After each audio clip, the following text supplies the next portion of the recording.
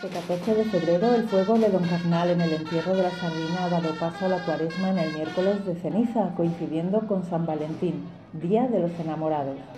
En una tarde-noche menos fría pero lluviosa, un cortejo adelgazado de las incombustibles comparsas segovianas desfiló fúnebre desde la plaza de San Martín hasta la plaza mayor con sus sardinas y sus velos negros dispuesto a pasar por el fuego y celebrar la muerte y la resurrección.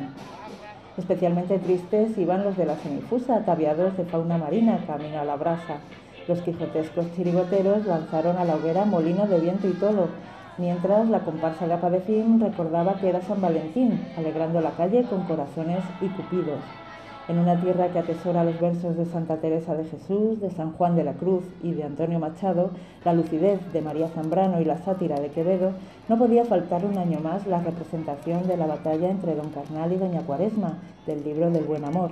En esta ocasión, la representación dirigida por la teatral Maite Hernán Gómez hizo un guiño al cine. El carnaval estuvo encarnado en Groucho Marx y la cuaresma en El ama de llaves de Rebeca. Desde el kiosco de la Plaza Mayor se fueron arrojando las estrofas del arcipreste de Ita al son de los batucones.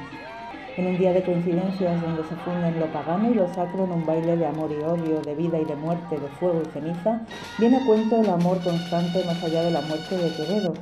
Su cuerpo dejará, no su cuidado, serán ceniza, más tendrá sentido, polvo serán, más polvo enamorado.